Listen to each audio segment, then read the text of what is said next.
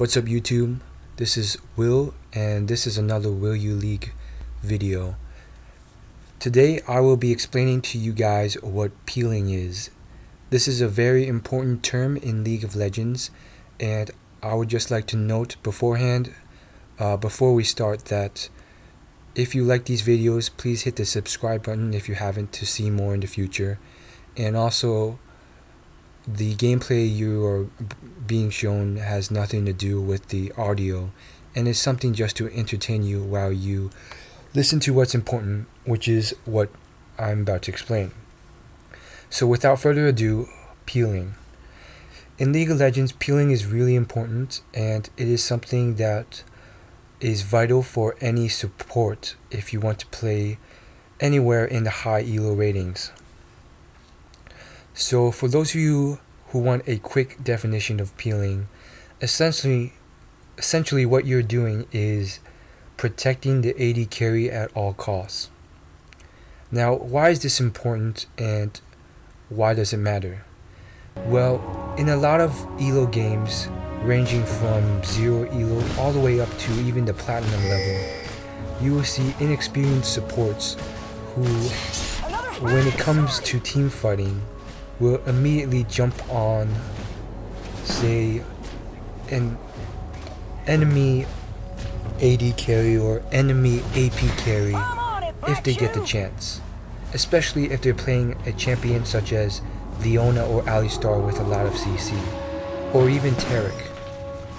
They think that stunning such a vital enemy is very important, and true, it oftentimes is but many of the times it is often better to save all your CC for peeling.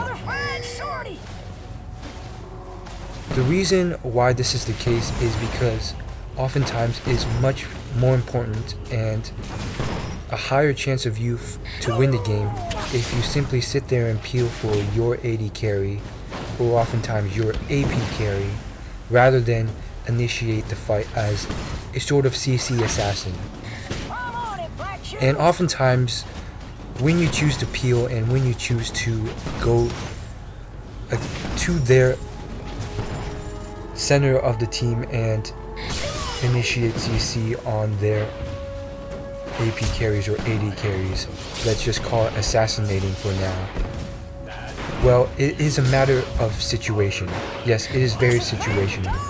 But to put it simply, whether you choose to use your CC to help quote unquote assassinate their AD carry or AB, AP carry, or whether you choose that CC to simply peel for your AD carry, is based on a lot of factors, but let's break it down to the general things you should look out for. If your team is exceptionally fed and slash or equally fed or at a sort of stalemate with the opposing team, then it is oftentimes better to use your CC, especially if you are a massive CC support such as Nautilus or Leona,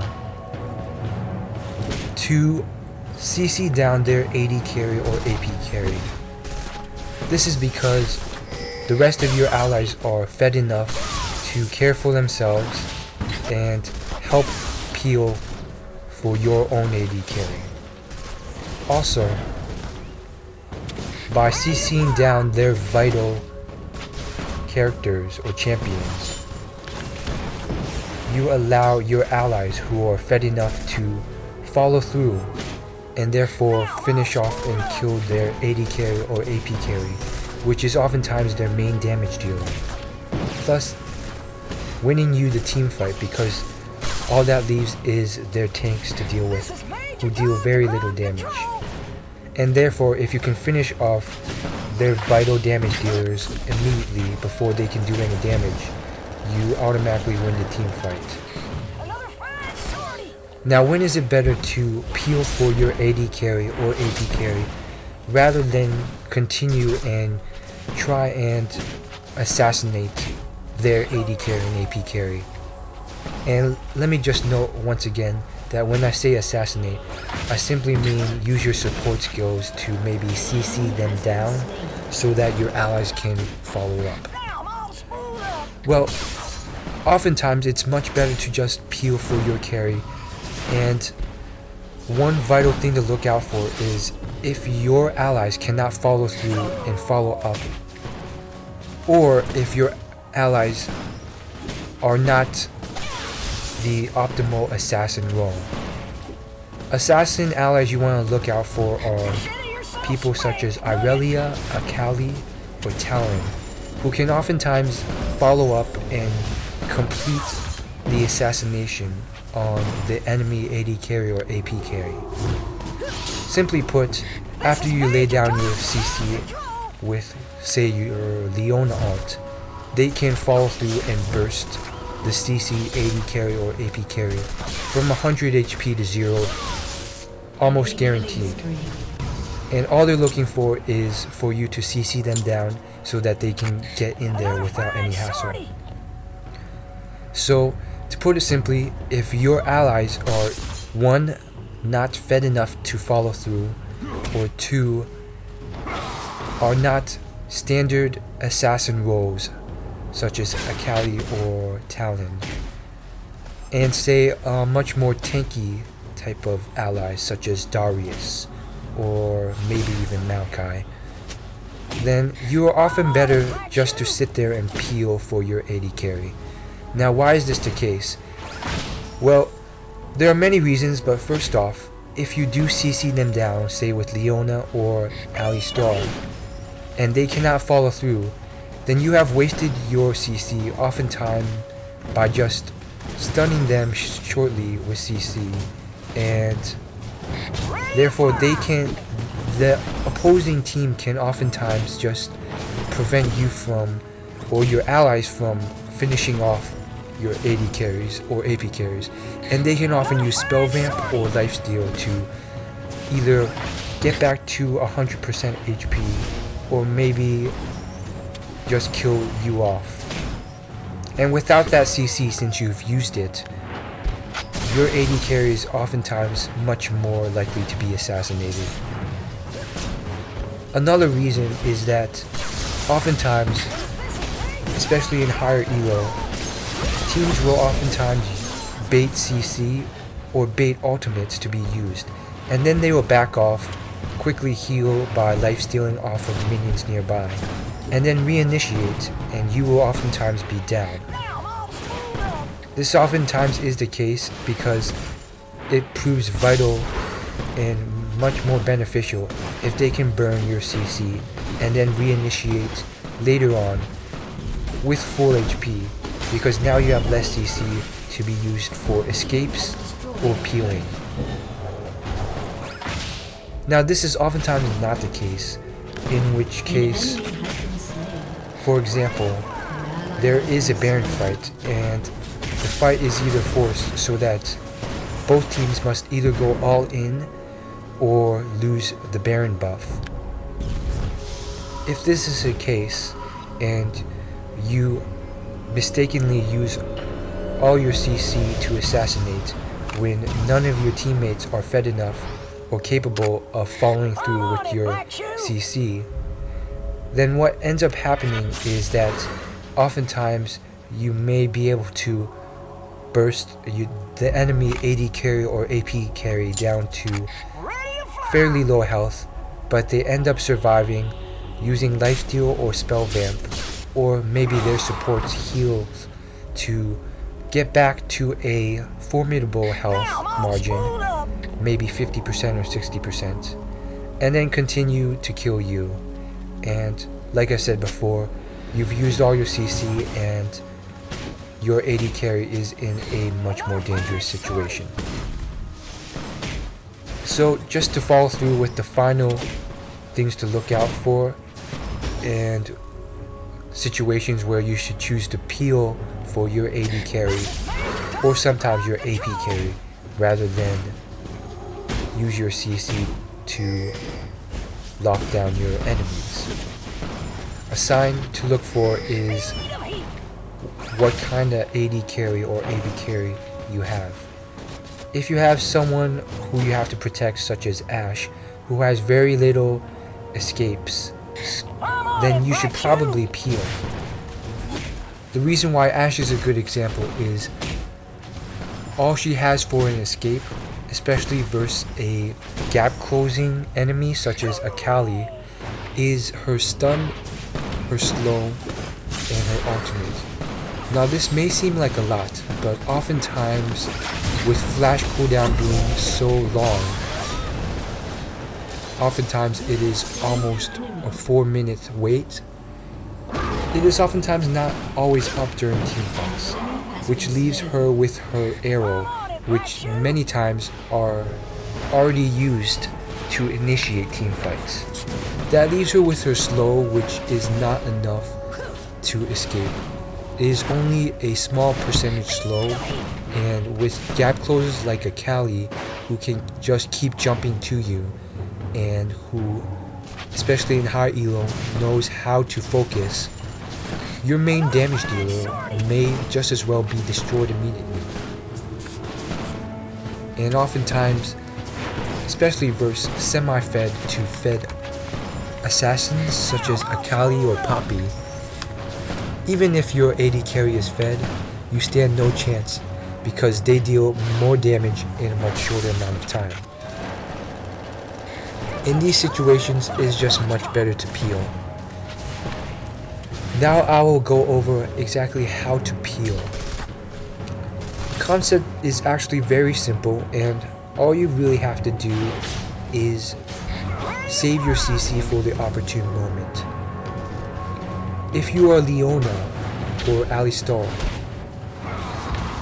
you should almost always peel if you know that your AD carry is the only fed one on your team. This is because in order for her to carry, she must not be focused and not, must not be assassinated. To peel, you simply wait until the team fight starts and the opposing enemy assassin or maybe an, just a standard AP carry or AD carry or sometimes even a tank somehow gets close to your AD carry which often happens when your AD carry is not the most skilled. As soon as they get onto your AD carry or even get close, especially for instance if they get hooked say by a Darius hook and you know as soon as after they land the hook the damage will occur and your AD carry may only have moments to live. That is the exact time where you lay down just one of your CC moves. If you are say Leona, you want to use just your Q and not the rest of your CC. Or say if you are Alistar, you want to use just your headbutts and not your knockup. The reason is because most times in team fights, you will have a lot of volatile factors to deal with and a lot more chances and abilities that might just put your AD carry in danger. A, a good example of this would be, say, if you use your headbutt to knock away the Darius who for some reason flashed and landed his hook on your important Ashe. By using just your headbutt to knock him away, you save your knockup for another enemy, say a Kali or a Talon, who just might all of a sudden appear and try and assassinate Ashe. Now, what you can do is you can use another one of your CC to combat this second foe. Oftentimes, you may find yourself having to use more than one CC, if you do have it, in order to keep your AD carry safe. And this is oftentimes the better thing to do, to ensure that your AD carry is safe if you're not entirely too sure. Once you get to a higher level, you will be able to know for certain the extent of your CC and whether by using just one of your abilities if it will be enough to peel for your AD carry. By doing this, you will save all your abilities sparingly and use them to the maximum amount of its potential. Now why is peeling so important? This is a very important point because some of you st might still be wondering why can't I just do what I want during team fights as a support? Well, this little differentiation between peeling and just randomly throwing out your spells during a team fight can prove very vital as a support. By simply preventing a Darius from dealing maybe even just as little as 200 to 500 damage on your AD carry is exceptionally important. Why is this the case? Well, by doing so, you have prevented almost up to 25 to 50% of their HP from being wiped out. Most AD carries have roughly around 2000 HP. And because of this, any small chunk is actually a large chunk and a large percentage of their HP. By peeling from them and preventing any damage, you will in effect save the AD carry. Oftentimes AD carries will most likely back out of a fight at 500 HP or lower because they know at that point any large casts or abilities will completely wipe them out. And oftentimes, even sometimes the tank will have enough just from their base damage in ultimates or abilities to finish them off. Also, you have to take into account certain AoEs can just as well cleave off another 25 to 50% of their HP. A good example would be Graves' ultimate.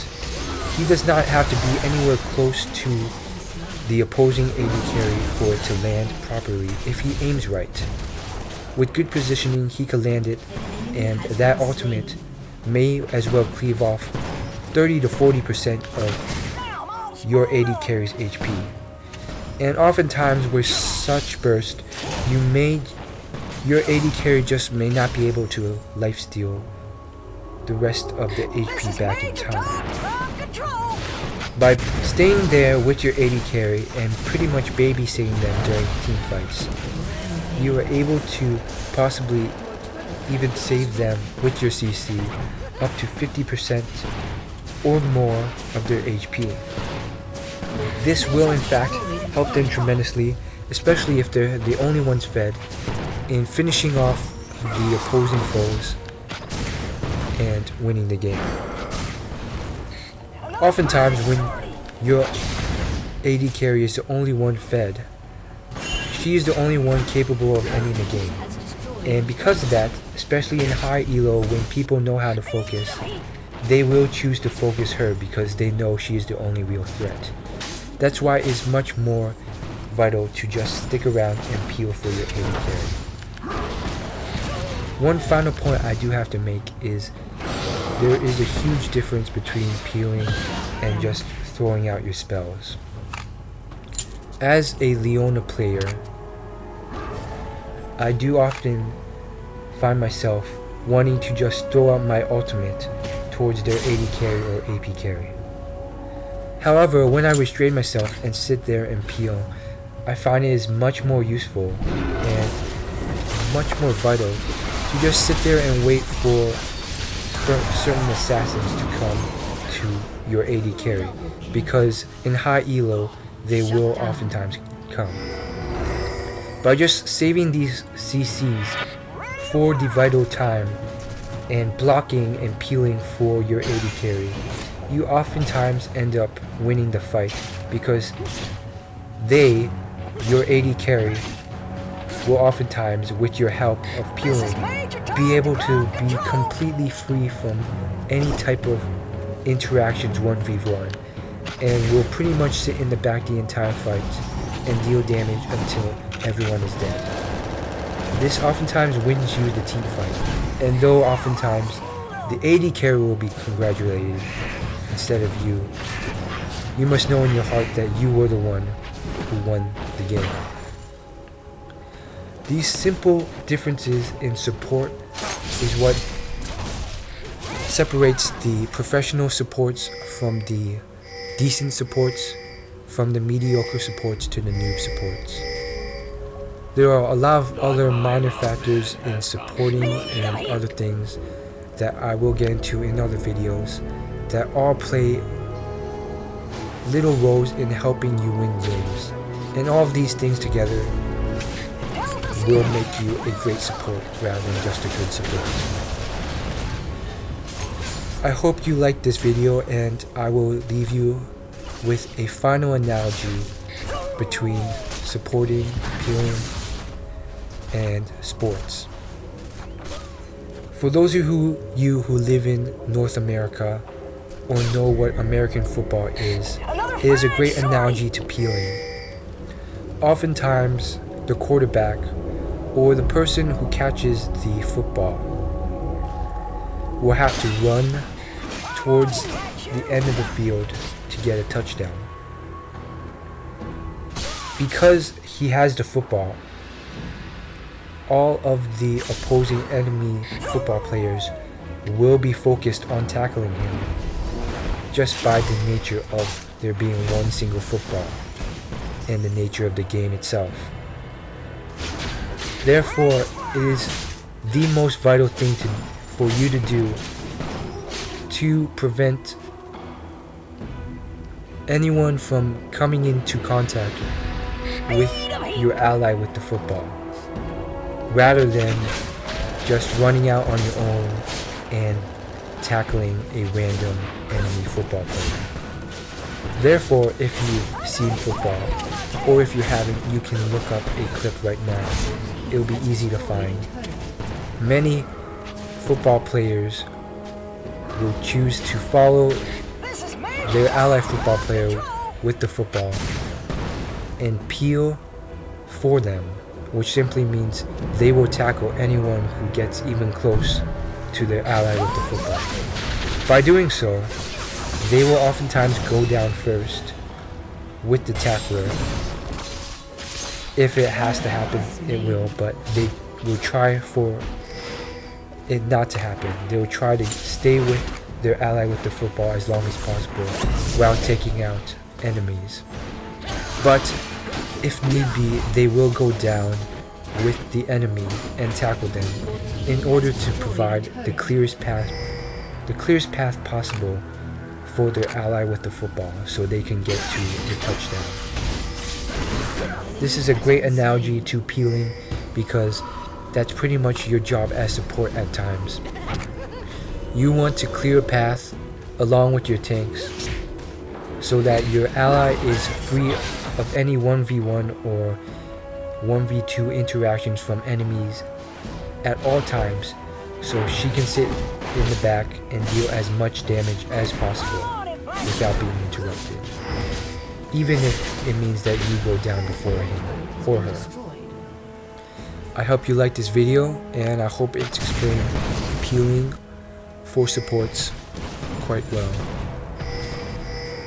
If you like this video, please leave it a like, upvote it, and subscribe if you like this video. It helps me out a lot. And sorry for the pauses and monotone voice. I wanted to keep this as informative as possible and as clear as possible. Thanks and see you guys later.